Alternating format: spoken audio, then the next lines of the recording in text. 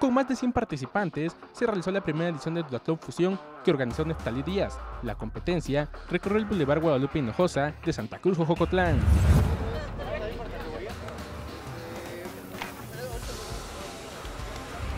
En punto de las 8 de la mañana se dio el banderazo de salida, que dio inicio a la carrera atlética por un camino de terracería en donde las categorías libre, Master 30, Master 40, relevos en el primer duatlón en ambas categorías iniciaron la competencia.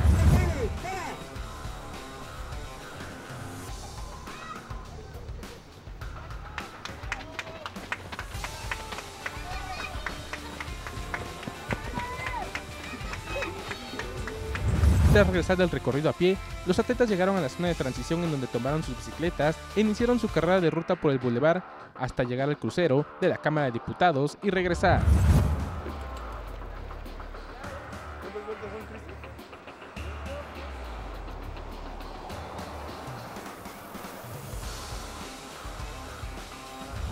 Los participantes estuvieron asistidos por los organizadores, quienes orientaron a los atletas en la ruta.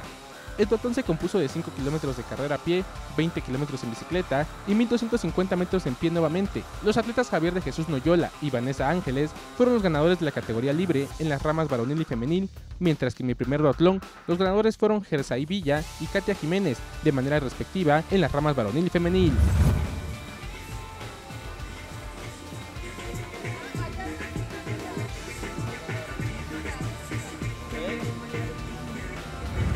Imágenes de Val Lucrecio para MDM Deportes, Jair Toledo.